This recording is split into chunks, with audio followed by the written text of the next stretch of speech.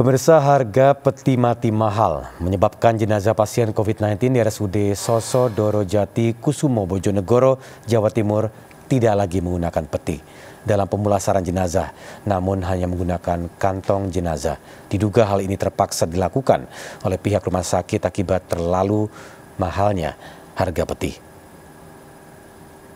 Sosodoro Jatikusumo Bojonegoro kini tidak lagi menggunakan peti untuk pemulasaraan jenazah positif COVID-19.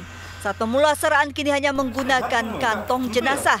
Pihak rumah sakit menyatakan kantong jenazah dianggap cukup aman untuk pemulasaraan positif COVID-19.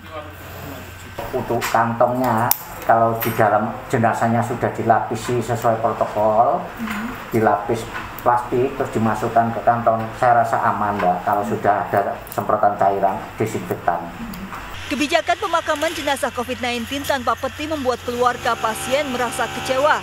Keluarga korban menyatakan sempat ditolak warga saat pemakaman karena tidak menggunakan peti jenazah sesuai protokol COVID-19. Itu lebih pantasnya dipakai peti. Hmm. Kurang pantas mbak jenazah kita dipasakin kantong, kita juga itu juga sudah di, tak dikasih plastik hmm. kan yang kenapa kan awal dulu di, di peti kok sekarang dipakai kantong jenazah Warga berharap pasien COVID-19 yang meninggal dunia dapat kembali mendapatkan fasilitas peti jenazah demi keamanan warga sekitar. Dari Bojonegoro, Jawa Timur, Dedi Mahdi, iNews melaporkan.